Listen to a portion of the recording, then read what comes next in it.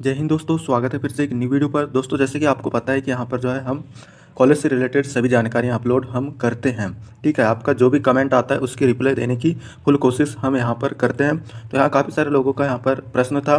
ठीक है, अगर आप भी B A B S C B com B B A U G student है तो यह वीडियो को कंप्लीट देखिएगा। आपके लिए हो सकता है, लाभदायक हो सकती है। यहाँ पर प्रश्न आ रहा था कि क्या सेकेंड ईयर थर्ड ईयर में जो है सब्जेक्ट चेंज हो सकते हैं क्या? चेंज हो जाएगा क्या?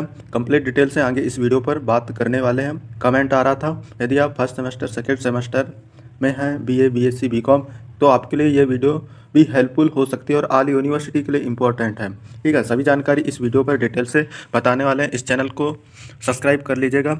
अगर चैनल पे आप नए हैं तो मोबाइल स्टडी पॉइंट नाम से आपको ग्रुप मिल जाएगा टेलीग्राम पे इसे ज्वाइन करना ना भूलेगा। कॉलेज से रिलेटेड सभी जानकारी हम यहाँ पर अपलोड करते हैं। तो चलिए वीडियो स्टार्ट करते हैं बिना टाइम वेस्ट किए। तो यहाँ पर सबसे पहले बात आ जाती है क्या सब्जेक्ट चेंज की? ठीक है? तो सब्जेक्ट चेंज यहाँ पर अगर कोई बोलता है कि आपका सब्जेक्ट चेंज हो जाता है सेकेंड ईयर थर्ड ईयर पे तो वो बिल्कुल गलत है। क्यों? क्योंकि यहाँ पर जो है कोई ऑप्शन ही नहीं आता। जब आप फार्म भरते हैं तो सब्जेक्ट चेंज का यहाँ पर कोई ऑप्शन आपके लिए नहीं आता। ठीक है? और सब्जेक्ट चेंज यहाँ पर होता भी नहीं है। ठीक है?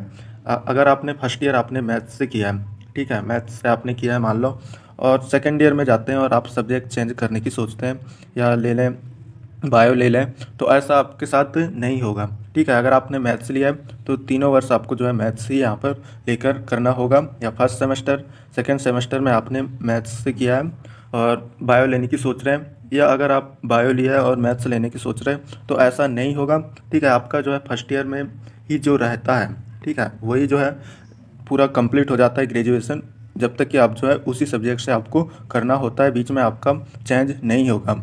और चेंज वैसे भी करना नहीं चाहिए, ठीक है? अगर आपने फ़र्स्ट में ही यहाँ पर मैथ्स लिया है, ठीक है?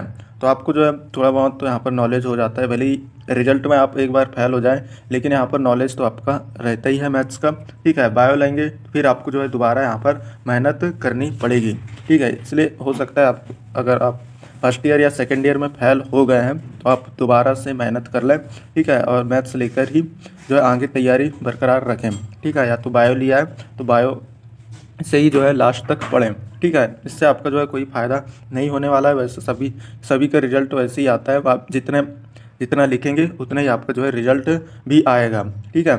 तो आप यहाँ पर जो है सब्जेक्ट चेंज नहीं हो सकता। आप कौन सी भी यूनिवर्सिटी की बात करें सब्जेक्ट चेंज वगैरह नहीं होता।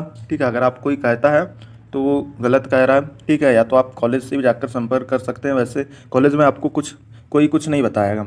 ठीक है कि सब्जेक्ट चेंज क्या कैसा क्या ये कुछ नहीं। आपका जो है सब्जेक्ट चेंज होता ही नहीं है। तो बात ही नहीं है। ठीक है, आप किसी भी यूनिवर्सिटी से बात कर लें, क्योंकि यहाँ पर यूनिवर्सिटी से मेरी बात हुई थी। यहाँ पर सब्जेक्ट चेंज वगैरह नहीं होते हैं। ठीक है, आप सब्जेक्ट चेंज फ़र्स्ट ईयर में ही अगर आपको कराना है तो एक मौका मिलता है, जब आप फ़र्स्ट ईयर में ही करा सकते हैं। उसके बाद यहाँ पर सब्जेक्ट चेंज नहीं करा सकते। तो ये थी आज की जानकारी। वीडियो कैसी लगी, कमेंट करके बताइएगा और एक लाइक कर दीजिएगा टेलीग्राम ग्रुप ज्वाइन कर लीजिएगा। लिंक आपको डिस्क्रिप्शन पर भी मिल जाता है। बाकी मिलते हैं अगली वीडियो पर। और इसी तरह की वीडियो देखने के लिए सब्सक्राइब कर लीजिएगा। Thank you.